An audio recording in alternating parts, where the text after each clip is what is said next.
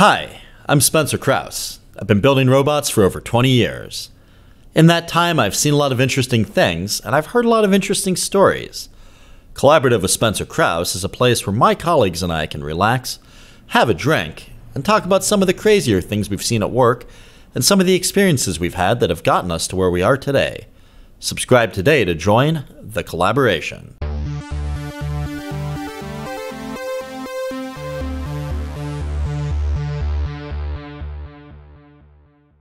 Welcome to the Collaborative Podcast. I'm your host, Spencer Krause. Our guest today is Suzan Chin Taylor.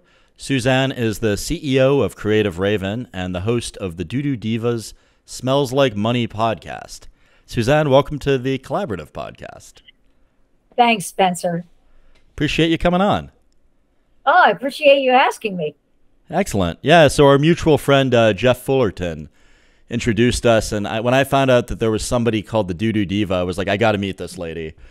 And then I started listening to your podcast, and it's really good, and I quite enjoy it. I'm becoming a fan, and so I, I, I just appreciate you making the time. And uh, your your branding is some of the most amazing, iconic, hilarious, you know, stuff I've ever seen, and it's it's it's awesome. so I just want to say, huge thank, fan. Thank you for that. Thank you for that. Um, when a number of industry colleagues, it says Suzan, you interview for all of the publications in the industry you're a keynote speaker at all of our trade shows. Why don't you have a podcast?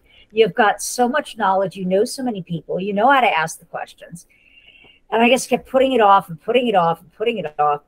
And then finally, I met someone that introduced me to this little podcast agency in the Philippines that cool. said, Well, we can take care of that for you for a really reasonable price. And so I was like, Well, yeah, I could afford that for marketing. Why not?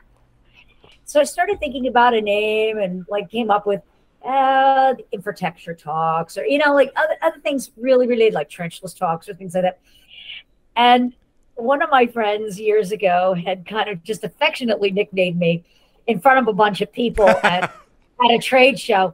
Well, yeah, well, because she's the doo doo, she's the poop diva, and I kind of went ew. And he says, okay, we, I think we could say that nicely, the the doo doo diva. And I was like, okay, I'll own that. I Triple alliteration, I love it. And it just kind of it just kind of stayed. And so when I started thinking about an interesting name for it, I ran it by a couple marketing friends of mine, and I said, "What do you think about the Doo Doo Diva podcast?" And he said, "We got to take it one step further." I said, "All right." And one of the favorite expressions in our industry, and it, it all came about. Um, I was on a video shoot with one of my techs, and we were the, with a client, and he had never been on a live site near a live sewer before. so we had to film this prep work for this rehabilitation of a manhole. So they had a bypass system going on, and they popped the lid, and he's filming like the prep work, and he sticks his head over the manhole, and he just reels back and says, Oh God, that stinks. and so my client, the contractor, and I looked at each other because you know we're not noticing anything. Maybe because we're too used to it, what they call that nose blind. We we both lean over the manhole and go, you know, give it a good sniff test. And we come up and we look at each other. And this was not planned. It was not scripted. I swear to you, it was not scripted. On cue, in sync, we said, smells like money to me. that's awesome. And that's an old expression in our industry that when people go, "Ooh, you work at this," uh, hey, that brown stuff turns to green stuff. I don't care. I like it that. Smells to me, and I just felt that it would be like the perfect thing. I launched it in the middle of COVID when we were all so stressed, and you know, humor was at an all-time low. And I figured, you know what? If we can't laugh at ourselves because let's face it, we're in the sewer industry. Let's think about what we're dealing with every day. Toilet humor is just rampant in our industry. Nobody thinks about it. We just laugh about it. So I figured, you know what? Be irreverent. Yeah, I like it. people don't like it, oh well. but everybody loves it. Like it's totally non-offensive. It's hilarious, and I think it really works. I mean, one of the things I really love about you know the little bit of work I've done. So I'm a robotics engineer uh, by trade but uh, I've done work with RedZone Robotics, and obviously I know Jeff from Edge AI. And so um, every time I go into one of those shops, it's the best humor in the world, and everybody's making poop jokes. And I got, you know, I'm not nose blind because I've not been around it that much. So I remember walking into RedZone for the first time and just kind of gagging, seeing one of their responders coming back from a mission. you know, and, uh, you know, the VP of engineering at the time, Jason Mizgorski, turns to me. He's like, "Oh, yep, smells like Washington." like, so I thought that was hilarious, and everybody's like that. You know, I, I noticed like you know Edge had a really similar vibe, you know, which is really great. And then you're not the first person I've heard that smells like money uh, joke from. So I, I really like that line too. I have to imagine that you know the the wastewater treatment industry probably had a sense of humor prior to COVID. I can't imagine this all just arose because of the pandemic. I, I got to imagine you guys were funny to begin with. Oh yeah, we, we were hilarious. it's an industry that they're salt of the earth people, and if you know, because you're a robotics engineer, a computer computer geek, um, you know the term WYSIWYG, and they truly are WYSIWYGs. What's a WYSIWYG? WYSIWYG, what it's you know for an edit, a WYSIWYG editor for web development and coding is what you see is what you get. And so they're the they're just salt of the earth people. And they do have a great sense of humor because we do the dirty jobs that no one else wants to do. They are unsung heroes. And just because I want to, and because I can in this public forum, I want to give a shout out to all of those that work in this field and do the hard work every day because without them, we would not enjoy the health and lifestyle that we do as a developed nation. Oh, we just sure. wouldn't. Agreed. And even though our infrastructure is failing and we've got problems and we've got a lot of work to do, I'll tell you, you go and, you know, I have an office in India. You go and you spend some time in a country like India and you come back and I tell you, you will never take for granted the water that comes out of your tap and your toilet ever, ever again. Well, just the fact that toilet water in the U.S. is potable to me is wild. You know, like the, you could drink it. Like you know, I mean, that doesn't exist many other places. No, that's true. That is true. I mean, you go to India, you actually, if you're coming from the West and you're not born in India or haven't inherited that, you know, from a parent, you have to brush your teeth with bottled water. You can't even rinse the tooth. You, it's dangerous to rinse your toothbrush and then possibly get it in your mouth. You can get very, very sick. And that's staying at like a four star hotel. It's just the quality of the water over there. And so it's, I have a great appreciation of what these guys do. Um, took many pictures. If anybody's interested on my website, I have a video about my mission in India, and there were some interesting pictures. I share it with contractors. Yeah. It's it's a gentleman with a, I guess you would call it like a an iron chisel and a, and a sledgehammer, and this is how he is breaking apart or off the damaged piece of pipe so they can put in a new one. He is actually sitting in the street on top of the pipe, banging it by hand to take that cast iron pipe apart. And I've given that to people in the industry. I says, listen, next time your employees complain that you're working them too hard, look this picture and say, be thankful for the power tools I give you. Yeah, exactly. That's amazing. India, you know, we look at it as a third world country, but it has some of the most intelligent, Oh yeah. talented, industrious people that you can imagine. And there's a will. There's a will. There are many people that want to make a difference, and they've realized that if they wait for their government to do something, it's never going to happen. And so there are many independent grassroots movements over there that are trying to make a difference for the community. And I say it at the very end of my video is that India's greatest resource is its people. Absolutely. We tap into that, the whole world wins. In my master's class at Carnegie Mellon, there were more Indian students than Americans. so I mean, it's yeah, I, And can, they're I can see that for sure. and they're brilliant. Um, and they're, for the most part, they're kind, they're centered. Um, they have a very different attitude in their priorities of life. And for the majority of Indians in their life, their connection to source, the one, that is the number one priority in your life, whether you're Buddhist, Hindu, Jain, Sikh, Christian, Muslim, whatever, whatever. It's your connection to source. What is second? Is what is source exactly? And maybe you're not going to. Source, God. Okay, God. got it, got it. The one, the source, the God. Okay. Um, by whatever name you decide to call him is your relationship with your high, higher power, if you want to call it that way.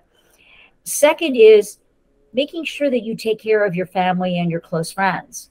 And third is the material. And unfortunately, in the West, we've got those priorities flip flopped. Because one of the first things I noticed when I came into India, there was just an energy there that I couldn't put my finger on until I asked my assistant. And, um, you know, who she she left us this year, an amazing, amazing soul. And uh, she said, um, and and she explained to me about this this shift.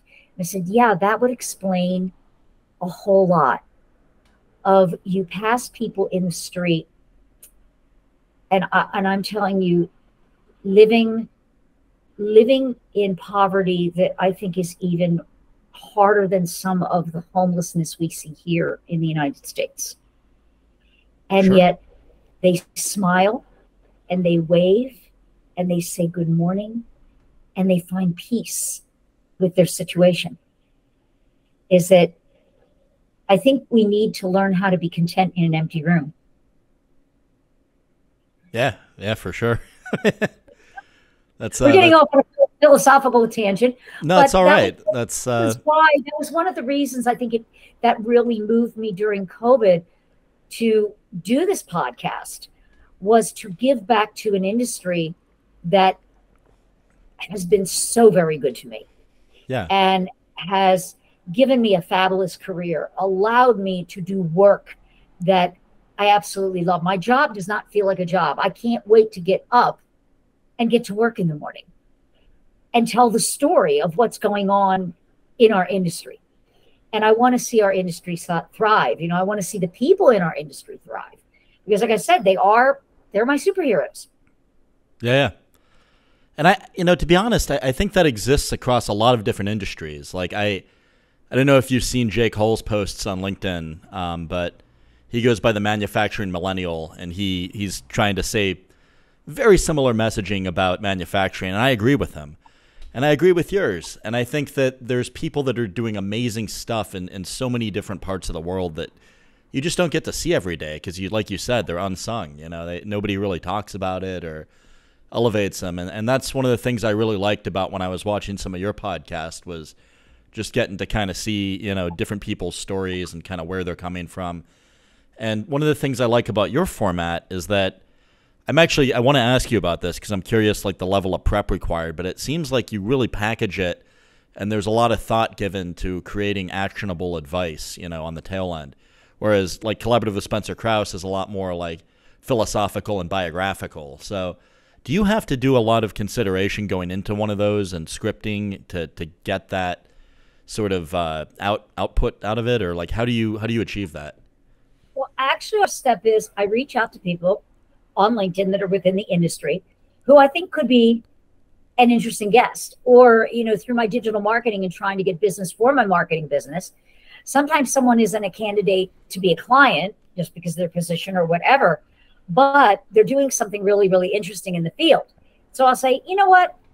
I don't believe in letting anybody, you know, who's given me their time to leave empty handed. How about you come on my podcast? Because you seem to know a lot about X, Y, or Z. And we come up with a topic or topics because sometimes I'll do a series of things if someone has got a tremendous amount of knowledge to share, or it seems like one topic is a great segue into another and make a series of it. And so because I've just been doing this for so long and writing and being a journalist in the industry for so long, it's I know what the industry is going to want to hear about or what I really want to educate the industry about. I don't want the podcast to become a giant infomercial for a technology provider. I want it to be useful, thoughtful, relevant information. And so after we talk about it and I get to know them for about 15, 20 minutes, then I go off and I come up with about three to four probing questions.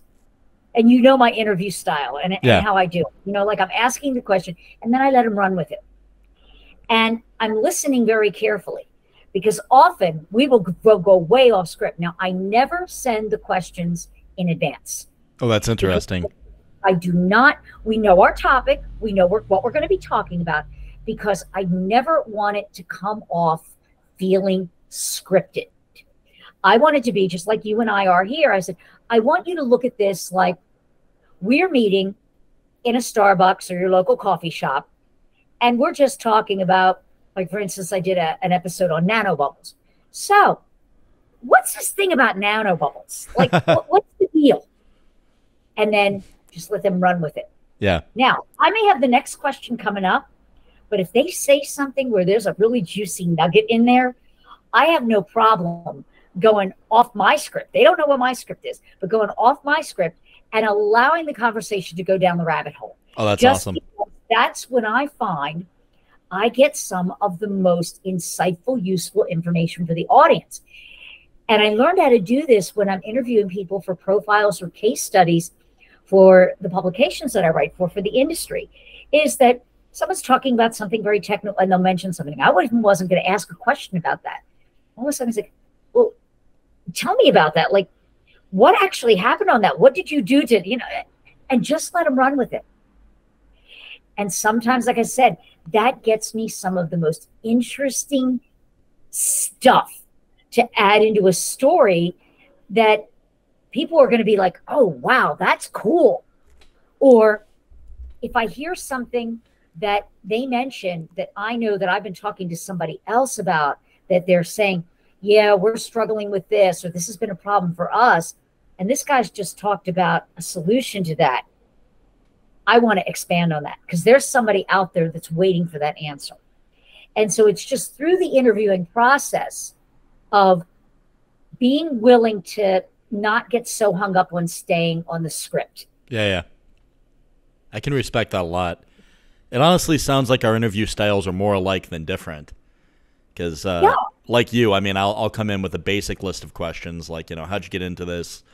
What makes you, you know, go to work every day? You know, what gets you out of bed in the morning? What are some of the cool things you're working on? But then, I mean, I if I hear an interesting tangent or I see it coming, I kind of lean into it. And mm-hmm. you know, that's I think I end up with longer form content than you. So I thought maybe you had more scripting that kind of manicured that in. But it sounds like you do the same thing. But if yours go along, you'll just roll it into another episode, which I, I think right that's neat. what we decided to do that if if it feels like there's so much to that subject matter that needs to be covered i'll opt to do multiple episodes because i know in our industry or at least with my audience after that 20 25 minutes of like a technical podcast you start to lose them they want to listen to it on the commute in Yep. or on their lunch break you know when they're catching up and if i can give them that little i call them dopamine drips. You know i give them a little snippet then they're going to okay so stay tuned. Next time we're going to continue our conversation. That is what is going to make them want to come back because they're i want to hear what that guy has to say on this subject. And so when you're doing that for me i find it's important to tease it. It's the same way when i'm writing digital content for social media. If it's a long form subject you don't have to do an 1800 word blog post. Break it into three sections and keep them hungry for more. Oh, that's interesting. leave them wanting more. Because those are consumable in like a single setting, basically. But if you were to say it all at once, people would just say, "Oh, well, I'll get to it never." and you know, yeah. And and and honestly um americans do not like to read a lot. You know we're so busy. We're getting pummeled with just information all day long and our brains are overloaded. We want like the cliff notes version of war and peace. Yeah, we don't want to have to sit and read that long novel. Just tell me the basic principles. How's it going to benefit me? And do i want to pursue this and get more? Yeah, makes sense. and a lot of times when I'm thinking about questions on a podcast, I'm trying to sit in the listener's seat as I'm doing the interview and think about they're probably saying to themselves, okay, I'm going to give this 20 to 30 minutes of my time. So what's in it for me? And really, at the end of the day, that's all someone is thinking about if they're going to sit across the table from you in a sales meeting or listen to a podcast. They're thinking, what am I going to get out of this? What is the benefit of me giving you my time? Because my time is valuable. That's pretty insightful. And I will say, like when I listened, I listened to the episode you did. Um, I can't remember the gentleman's name, but he was doing fraud prevention and also forensics after the fact. Yes, so, that was probably one of my favorite episodes. He was so John good. He he was an amazing interview. Oh, he was awesome. The fact that he shoehorned a magic trick into it with a three card monte piece, I thought was incredible. Like it yes. was, it was just so tight, and I, I was like, how did you? You know, that's that must have been scripted. Like that's just you know, it, it, flowed so beautifully, and so I, I, just figured, you know, like that's it's neat to know that that just kind of happened organically, and you know, with a little bit of prep. But it sounds like you know, prep plus finesse and adaptivity in the moment. So that's that's a really cool format. Oh yes, and and that interview that was one of those. So much shock value to it that you know when he told me about the percentages for utilities was it five percent the top five yeah. that victims of, I you know, big levels of fraud. It, I was shocked. It was five percent of all commerce. He said was was was fraud, right? And I've only ever been a victim of that kind of fraud once, and I mean, it really gripped me that episode because I was like, oh wow, I could have prevented this. You know, like there's all these different things you can do, and like I, I added the guy's number to my phone at the end of the episode. You know, yeah, and, he gave and, it. And his the the follow up one called Payday Pickpockets about payroll fraud, is one of the easiest yet. frauds. One of the easiest frauds that that was this week's episode. Um, one of the easiest frauds to commit. That was mind blowing too. I can't wait to give it a listen. Oh yeah, he was fun. He was he was a lot of fun. Yeah, for sure. No, he he. I feel like with that industry, like you think you're gonna, and this is me stereotyping and you know being a schmuck or whatever, but I mean, the, okay. I think the preconception is like you're going to get someone draconian and boring, and that guy was not that at all. Like he was engaged, intelligent, and um, just you know highly interesting to listen to him talk. So I, I, really, he seemed like like a puzzle addict a little bit. You know, like somebody that just liked getting himself in the mindset of the people he's he's kind of going after. And so I thought oh, that yeah. was that was interesting to hear how that guy thought. There's another uh, series that I did with a gentleman out of uh, Texas um, about manholes and I and I, and he was just, I mean, just if you're interested in it, you know, coming. What is I and I? Uh, about I and I, you know, inflow and infiltration. Oh, got it. Okay. Holes, yeah. And uh, he was, he was funny. He was funny. He was a a Texan in every true sense of the word, you know, with the drawl and just he was just he was animated and he was so passionate about the subject matter. You couldn't help but get sucked into the episode. That's Whether awesome. you were interested in manhole rehabs and leakage, it didn't matter. He was just so interesting to listen to. And you know, sometimes it's very difficult to find guests that they've got something very important to share, but making it interesting. For sure. Yeah, and that sometimes that's one of the challenges. Like we're talking about, um, oh gosh, it's coming up. Peracetic acid, like or you know, what is that? For it's it's a chemical that is used for um, disinfection in wastewater treatment. Has some other capabilities as well, but um, just doing a different spin on that and taking something that would be typically a very dry subject matter and finding a way to shed a new light on it or make people look at something a different way. Yeah. And that's what I try to do is put a different spin on something that they may have heard of before. But let's come at it from a different direction. For sure. How can we do it better? Because we're really we're losing a lot of our labor force in this industry.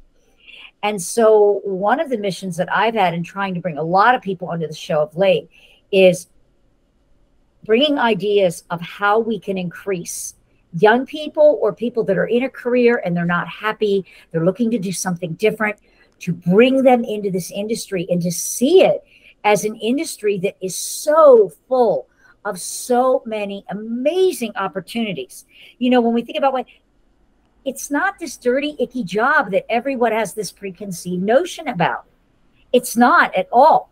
And I would say to anybody that may be interested in it, call your local wastewater treatment plant, find out if they have an education day or community day, and ask if you could have a tour of the plant and see what it's really like to be an operator in a wastewater or water facility and all the different facets of being involved in that. You could work in the lab, you could be out in field, you could be testing, you could be sampling. You be there are so many opportunities. And I tell parents, you know what? Not everybody is meant to go to college. And not everybody wants to be saddled with hundreds of thousands of debt dollars of debt when they get out. And guess what, mom and dad? They're going to be living with you till they're 45. so here, I'm going to give you something. There are opportunities in wastewater treatment that can open doors that guess what? Your son or your daughter is not going to have after they get their class operator certificates and work their way up. College debt. They're going to get their education paid for. And at the end of their certification, when you become a top tier operator, you've got the equivalent of a master's degree in you know microbiology or biochemistry. Even if you don't want to stay in a government entity, you can go work in private sector for industrial wastewater treatment. A lot of people don't understand that there is a tremendous opportunity that it's not just municipal working with sanitary stuff that comes out of us, but there is wastewater treatment for food processing, for beverage, for bakeries. It's it's a huge field and the sky is the limit. And you can make a really, really good living wage. And so for me, yeah, I'm on my bandwagon because I need to see more people. I want to see more young people consider this as a career because it's exciting. That's awesome. Yeah, and, and I mean, honestly, like I'm very content in my job. I, I love building robots and, and going into all these interesting environments. But when you said you can go to your local municipality and check out a wastewater treatment facility, in my head I was thinking, I want to do that. I, I, tell everybody, everybody to do it. Or or the water treatment facility. And uh, you know, see what they do every day. Now, during COVID, a lot of them shut down, you know, their tours for obvious reasons. Um, but now they're starting to open up the community events where they do that. Uh, some communities will actually do like an open house for the community that you live in. So they give you a tour of the plan and they have some, you know, refreshments and, you know, ask questions and they have things for the kids to understand it. And it's just a great opportunity, I think, for anybody to learn about what goes on in their community. And you know what happens? Like what did it actually take when you turn on that tap to have that water come out? That when you flush that toilet where does that go? What happens to it after it leaves your house? Oh i've seen the camera feeds from the robots. Yeah well yeah you know. And just because it's out of sight doesn't mean it should be out of mind. Yeah. That's awesome. Well and one of my favorite things um, when I'm visiting a uh, robotic sewer inspection company is people love to show you the stuff they found in the sewer on the camera oh, and the yeah. lidar feeds. Like my one friend was showing me um, a scan that he did dropping down into a manhole, and it was really interesting the shape because it got wider, and then it went out, and then um, you know he said, "You see all that stuff? Those are all cockroaches." you know, I'm like, "Oh wow, that's a lot of cockroaches." And then somebody else was showing me at, at a different facility, you know, like the camera footage of a robot going down a pipe. Like that's human feces, that's human feces, that's human feces. And you know, every I think everyone's kind of a 12-year-old at heart, so I'm giggling like a little kid while he's telling me this, you know. It just seems like a blast. Uh, one of my favorite technicians at a manufacturing facility I used to work for, I tried to get him to work for a sewer inspection company. I'd be like, dude, you've already got the sense of humor like you'll love these guys. Send him your resume, and he was a little slow on sending the resume, so we ended up not working there. But I, I, I wanted to try to get that guy into that industry because from the little glimpse I've gotten, it just seems like a beautiful culture. And, and like you said, I mean, we wouldn't have civilization without sewage and sewage removal. And so it's it's one of the cornerstones of our society, as you put it. Right. Well, you see this guy behind me, uh, my Gandhiji, and everybody is know, you know, so familiar with that, you know, the, the famous quote, you know, be the change you wish to see in the world. But there's another quote, and a lot of people aren't aware of it, that he said, sanitation is just as important, if not more so, than freedom. Interesting. I is that not, not that. deep? Because yeah. if you think about it, without sanitation, we have poor health and disease. And without our health, we have nothing. How can you be free if you're sick? Yeah. It was a real, you know, a great, great observation. Absolutely great observation. Oh, by the way, when you said about all the cockroaches, people yeah. in the industry will laugh. When you see a lot of cockroaches in a manhole or in the sewer system, that's actually a good sign. That means that there's a lot of healthy air and oxygen in the system and not toxic H2S gas because they can't live where there's H2S. So oh, that's interesting. You see the cockroaches that's, or mice. That's really interesting. I, I did not even think of it that way, but now I will next time I see cockroaches. Yeah. I think one of the most interesting tapes that I ever saw was out in the desert because I got my start in the industry with a camera manufacturer based in Thousand Palms, California. And we were doing a, a demo run in this one area of the desert.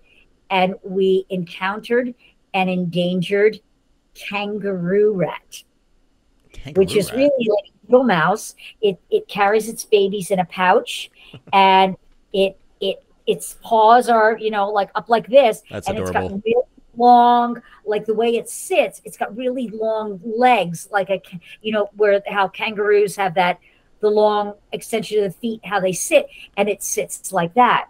That's awesome. And, and yeah, it was really, really cool. We filmed him and we just sat there with the camera and he didn't flinch. He just sat there and ate and he groomed himself and he probably liked the warmth of the lights. Siri, you know, he's probably enjoying it. And, and our camera operator, Ray, he just sat there. I'm just going to leave the camera and we'll just see how long he stays. And he stayed there for probably a good 15 to 20 minutes. That's wild. That's awesome. Yeah. It was just fun, you know, it's like Mother Nature yeah, no, I, I love those moments like in the park where you're you're hanging out, and in, in Pittsburgh we've got a lot of deer, and sometimes I think they're used to people feeding them because you can get maybe like five ten feet away, and they'll just hang out. And the other day I was in a family of about five of them, and I remember just you know like oh this is awesome, I'm just gonna be as quiet as possible and crouch down low, and see how long I can hang out with these guys before they decide I'm a threat and run away. so. I got five minutes, not nearly as long as the 15, 20 with the kangaroo rat. So, oh, okay. You'd mentioned opening an office in India, and I'm kind of curious about uh, kind of what motivated that and what the journey has been like getting spun up there. Because I know international business can be daunting for a lot of people, and it sounds like you've got some deeper reasons as well. Well, it all started in 2006 and I can't remember his name, but I interviewed a gentleman and he was from Ohio and it was for an article that I was writing about his city, profiling it for Municipal Sewer and Water magazine. And he told me about this book by Rose George entitled The Big Necessary. And he says, You got to read this. You know, as much as you're into this, you're going to enjoy it. And so I went out and I got the book on Amazon and bought it and read it. I couldn't put it down. And that book changed my life. It was all about the world of human waste and how it is dealt with around the world in, you know, countries, you know, un, you know, underdeveloped countries. And a large focus was on India and India's problems and what some private people are trying to do. And just something hit me that someday I'm going to do something to go there and try to make a difference. So fast forward 10 years, 2015. Um, my husband of 23 years. Uh, he had been ill for a long time, but took a very sudden turn for the work, worst and passed. and it, yeah, now it, it's it's all good. It was it was a it was a great relationship. We had a great run. He was quite a few years older than I was. You know, I knew we were on borrowed time, but we made the most of it. And so about a year later, um, I was trying to figure out, okay, so what does Suzan want to do with the rest of her life? You know, what's my new normal? And so I reached out to a friend that I had known in the United States that had helped me with a lot of networking and resourcing. He was an international international marketer. He was from India, came here to the States, became a citizen, lived here for many years. And I reached out to him and I said, You you know I've always had this thought in the back of my mind of doing something, but because my husband was ill, I really couldn't do much because I needed to be the caregiver. And I said, But now I'm in a situation where I have time and I would like to pursue this dream and I need help. And he said, It would be my honor to bring you into country and introduce you to some people and see how we can do this.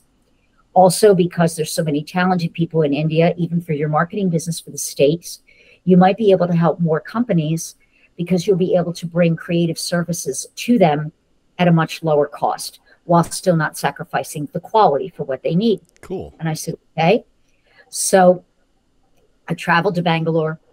I made this video that's on my website, Win Windows of Opportunity. I'd always loved the country. So just to take a little back um, flashback, I'd said earlier, you know, all of my babysitters were my father's graduate students from India. and so I grew up fascinated because he knew instead of the teenage neighborhood girl, these were older students. And so they were going to make sure that little Suzan went to bed on time, did her homework, brushed her teeth, and, you know, did what she was told. And they were so magical to me because they'd come in their salwar kameez or they'd be dressed in their sari and they'd have their makeup and they'd have their Bali earrings and their bracelets and and just to me they were just this wave of color and magic. And I would ask them about their country and start to learn things. And I just became enamored with it. Um, just because of the principles behind it. And I learned about Gandhi at that time and his mission I did a third grade book report. It says, write a book report about someone important in history that you admire. Everybody else was doing Jefferson, Washington, and you know, uh, current president. Who do I do my book report on? Gandhi. Gandhi. Got an A plus on it. Nice. And uh, the nun thought it was pretty interesting, like why Gandhi? And I said, just because of what he what he stands for and that one person can make a difference in the world. So, going back um, in India, just fell in love with the country. And it's kind of like my second heart home. You know how we always say we have a heart home? My heart home has always been the desert. You know, I love where I live. I'm in northern Arizona, right at the foot of the Mingus Mountains and the Red Rocks. Um, oh, cool. But India, India is just a special ancient country. And the people are just the people are amazing. The music is amazing. The the art, the artistry is just it's it's mind blowing. And going over there and seeing the problems and saying, I want to make a difference. I don't know how I'm going to do this, but I'm going to do this. So I decided I'm going to open an office here. I'm going to establish a footprint and I'm going to start casting the net. And I'm going to look for people who want to join in on this journey with me, who've got technology that want to come into India and make a difference. By don't look at money, because a lot of Western companies, especially in this wastewater space, have gone into India and they have really done India a great disservice. One thing you have to understand about India is that you still have that that very you don't want to think about it. We try to not think it's it's so strict, but it's still the caste system is very prevalent. It's not going to go away anytime soon. It's not going to go away in my lifetime. I'm sure of it. It's been embedded for thousands of years. Brutal. That it's it, it's brutal, and so the folks that are allowed to handle human waste are the lowest of the lowest castes, and they're the least educated of the population. So, when you come in and you put in a centralized wastewater treatment plant that is kind of like you would see in the United States. And you get it up and running and it's great. But here's a little known fact 73% of the centralized wastewater treatment plants in India are essentially inoperable. I mean, they operate, they're on, the lights are on, the water comes in, things go through a bar screen, the rags and the debris are taken. But that water pretty much goes out to the receiving waters, not too different than the way it came in. Huh. 73% you said. Are inoperable. That's wild. We're not operating at how they 27% kind of work. kind of, okay? Because the mechanics and the knowledge needed to run a plant of that complexity. You need engineers. You need class A wastewater operators.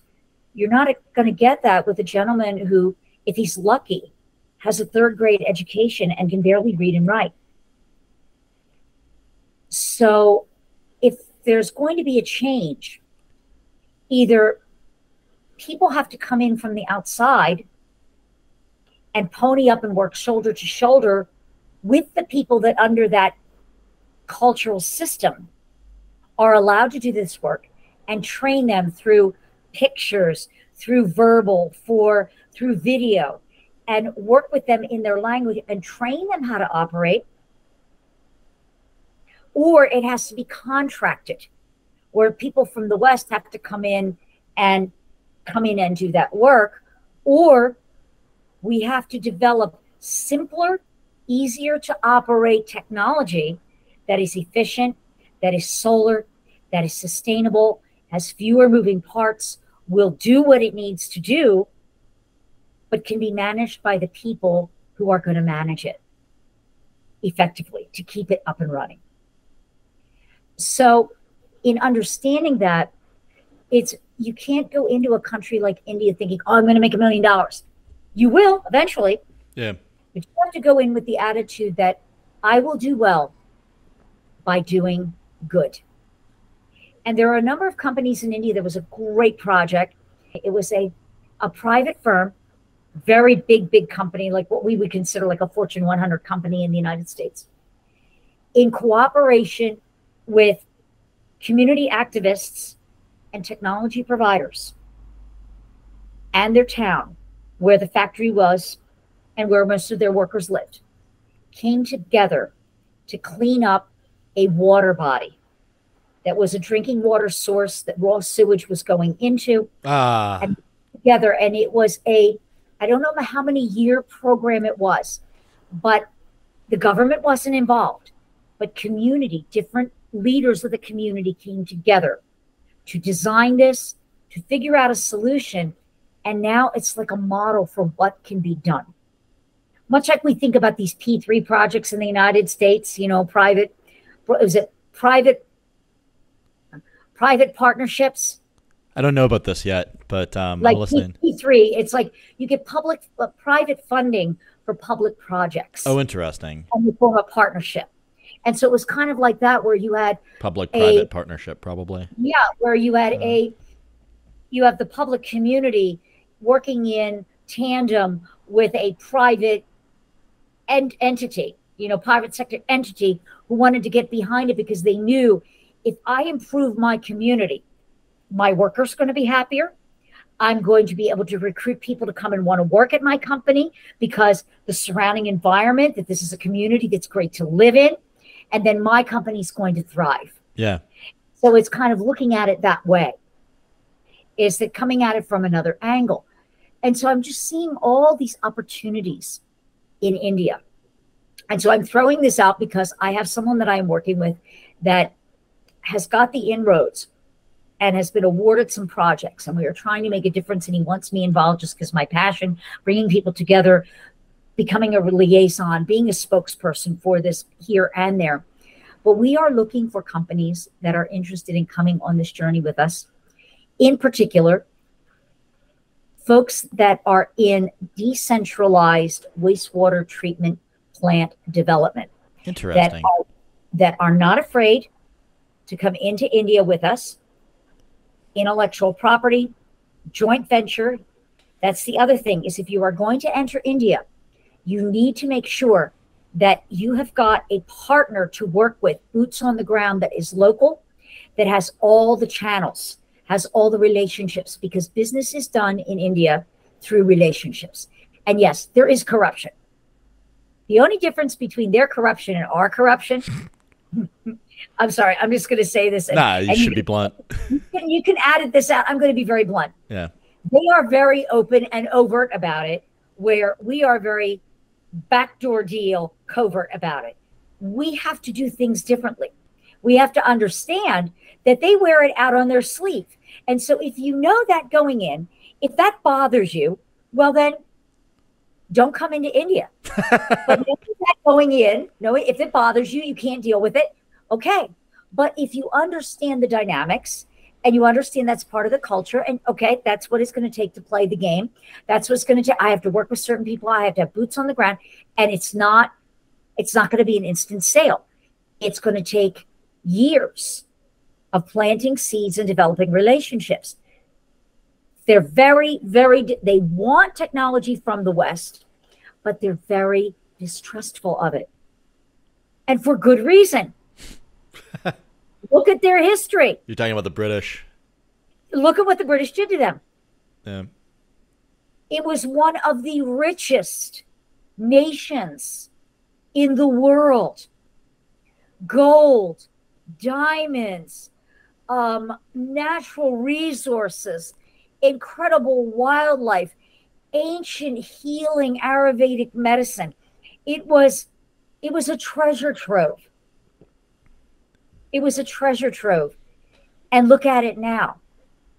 So you can understand why there is great distrust because, and some of these projects that have come in for the West for infrastructure, for wastewater treatment, where these plants get built. Everything looks great. It looks like it's pie in the sky. Oh, yeah, yeah, yeah, yeah. And then six months later, the plant starts to fail and they can't get it back up running and they don't have the help they need.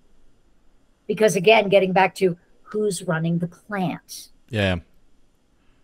And so we in this industry have to understand the environment we're going into that whether it's India or any country, any third world country that we're going into, we have to think about who is going to be manning the store, who's going to be driving the truck after we leave, after we set it up, train them, drop the goods off, and go home back to our little comfortable home in the United States or Europe or whatever. Who's going to be responsible? And so, yeah, we want to make money by bringing our technology into these places because we know it can help. But if it's destined to fail because of the environment and the community and the people that are going to be responsible for it going in, then we're not the right solution. So maybe we need to look at trying and trying instead of trying to convince them that we've got what they need, why don't we look at what they need and then build the solution to fit the need? Yeah, that's the best way to solve any problem. And maybe it won't make as much money. But guess what? It's a country with a lot, a lot of people. So you sell one, it might not be that profitable, but let me tell you, you're going to make it up in volume. And eventually you will make money because you'll find ways to establish manufacturing there and bring jobs in. And you'll basically create your own little economic ecosystem. And again, it all gets back to doing well by doing good. And so for me, I'm looking for companies that can see enough of what I see and maybe want to join this, jump on this ride with me. Yeah. Is there what would be the best action for somebody listening to be able to take if they're interested in getting involved? Just just get in touch with me. Just get in touch with me. Let me know what you've got, you know, where you'd like to help, what you would see, what's going to be involved, and we'll have a conversation and see if it's a good fit. Um, we'll get different partners involved in the conversation. And it's, we're not going to let you go in blind. And we're not going to let you go in thinking this is all rainbows and unicorns and you're going to make a million dollars overnight. We're going to tell you the reality of it. And if, if you've got, if you got the wherewithal for it, this is not for the faint of heart, but if you're really committed to making a difference in the world, this is one place where you can really start and truly, truly make a difference. Yeah, that's but beautiful. It's going to take tenacity and it's going to take patience And come on, I've been at this, I've been at this since 2017, working at it, planting the seeds. Now I've got a great team. I've got a fantastic team of creatives over there that can do lots and lots of work, you know, on the website and on the, you know, those marketing services for the West. But at the same time, I want to bring the West to India. But I knew that wasn't going to happen overnight. It was going to take me years to find those channels. And we're on, we're finally on the brink of it. That's awesome. And so now is the time. If you've been thinking about it, now is the time. That's really cool. And what's the best way for people to get in touch with you if they, because I, I, really do want this to be actionable for someone listening. Yes. Um, again, Suzan Chin Taylor. My telephone number is 760 217 8010. You can email me at raven at creativeraven.com. And you can also visit our website, which is Creative Raven. And I would encourage anybody watch the video that we have on the homepage of our website about the com- my mission and our company's mission into India to kind of get really a feel for who we are and what we're trying to do. And if that's something that, if you're in alignment with that and you see that and say, yeah, yeah, I like that. Let's have a conversation and see where it goes. That's awesome, Suzan. Well, I think that's a beautiful place to end if, if that's cool with you. Um, yes. Anything else you want to plug, or I feel like we did a good job of it, but just in case. Well, the only other thing I would say is that for those who are in this space, that if you need help, one of our one of our things is I'm all about giving back to the industry. So the podcast is free for you to come on as a guest. The second thing is, is if you've done something interesting. I'm a journalist for three or four of the big industry publications. And I may be able to get you some free PR if you've got something interesting that you've been working on as far as a project, or you're a city and you, you're doing something very, very proactive. And the third thing is commercially is we are digital content create creation, you know, for this industry, just for the wastewater industry. So whether you could do some of it yourself and you need you've got good ideas, but you need somebody to help you execute it, or you're just like, you know what? I don't have the time. I don't want to know. Here's Suzan, just do it for me. we can do that. And then we have a training arm called the Tuit Group, which kind of came and grew out of Creative Raven because I saw that to me, everyone is a member of the marketing team in an organization. And so there's a need for workforce development and workplace culture development, especially in our industry because we're losing so many people. And we need to create a great workforce, you know, workplace culture to encourage, as I said earlier, for people to come in, whether it's private sector working for contractors or manufacturers or on a city level. So we just launched a new course and it's called the Gain, Train, Retain Playbook. And it is nice. how to hire, train, and retain the right talent for your business. Because a lot of folks, we've got a strange labor pool that we draw from in our industry. It's it's it's a challenging one. Okay. And so we're really imparting knowledge about how to interview well, how to recruit, how to make a good hire. And then if you recognize that, ooh, I may have made a mistake, okay, cut your losses and start that process all over again. How to properly train so people don't make mistakes and cost you money or cost you costly repairs because they're not taking care of your equipment well in the field. And then lastly, you get a stellar employee. How do you create an environment where people want to stay? Yeah. And people want to get like minded people like them to want to come and work for your company when there's an opening. And so the course has been put together by myself and a seasoned veteran in the industry who he had employees working for him for 10 or 15 years. People came. Nobody does that anymore. and, and nobody, but these people did because he created an amazing environment of opportunity that people just wanted to come to work every day. And so he's sharing, you know, his mistakes of hard knocks and, and things that worked. And, um, we're launching that in a live on uh, July 19th. And so people can find out more information about that on the Tuit group. I'm also an everything DiSC facilitator. So if you're struggling in your organization with, let's say, you got a revolving door on the HR department where you're losing people and they're dropping like flies. It might be that you need to create some more trust in your organization. And we help organizations by using everything DiSC, uh, facilitation, and profile assessments, how to build cohesive teams. And by understanding yourself first, then you're better able to understand others and bridge communication and work better together as a cohesive team. And that's been a very rewarding thing for me because I think the reason that I've stayed in this industry is not because of the products, not because of the work, not because of it's cool, because it is. Robotics. I love. I see. I started in the robot robotics field, and so you and I oh, are oh, cool. the same, same milk in the same heart. I love the robotics. I, I yeah, likewise, kindred spirits. yeah, kindred spirits. But what has made me stay in this industry for all the years that I have started in 1998, so I've been around a long time, is the people.